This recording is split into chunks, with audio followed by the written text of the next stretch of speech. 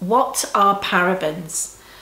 Now you may have heard of the controversy over parabens, but parabens are um, chemicals that are added to our water-based products for our hair care and our skin care.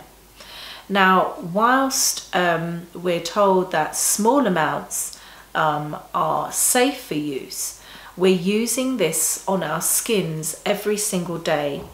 And in research studies, there have been parabens found in our body tissues.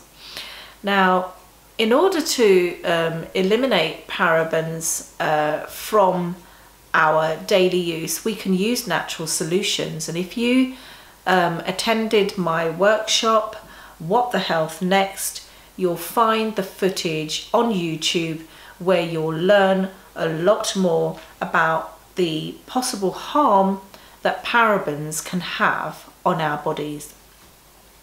So they are preservatives that are added and there are a number of parabens out there and they're given different names. So it's important to understand what they are, how we can eliminate them and I will have upcoming workshops in the future where I will be talking a lot about um, the controversial type of products and the ingredients used in theirs, but also always providing natural solutions and then running a demonstration on how you can make your own skincare